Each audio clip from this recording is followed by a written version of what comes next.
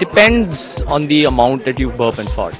I mean, if it's a very loud, if it's a very loud burp, and if it's a very very stinky fart, then it might create a vacuum. Dude, if I fart and burp at the same time, that would lead to global warming. And you know, I'm an eco-friendly person, so I don't do that. If it would have had that, I would have had a slimmer body.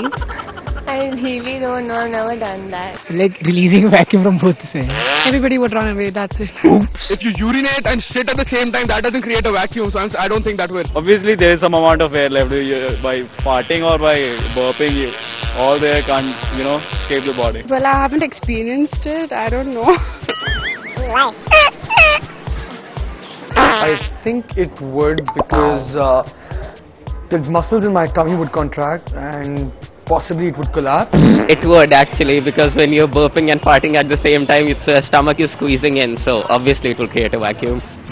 I think both the things are going out only. it doesn't create a vacuum in my tummy. Then. there is this thing they say, no, why fart and waste it when you can burp and taste it? So yeah, that's what I follow.